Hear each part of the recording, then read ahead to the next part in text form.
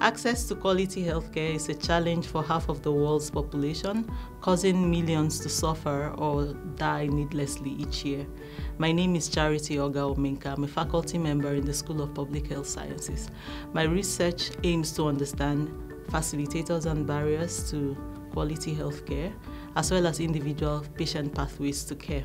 So in conducting my research, I use mixed methods, qualitative and quantitative, to examine patient experiences, as well as how their individual characteristics and health system factors impact on access to care. My research helps healthcare providers and managers to understand the sometimes complex patient and health system factors that impact on health seeking and healthcare delivery.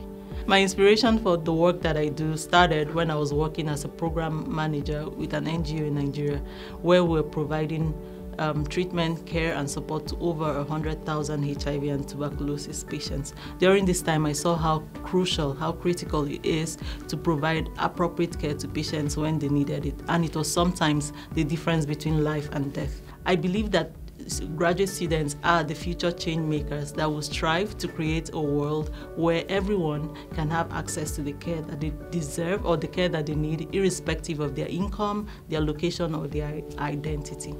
The University of Waterloo is a really conducive place to conduct global health research thanks to the numerous opportunities for multidisciplinary collaborations, the diverse student populations, as well as the comprehensive support systems.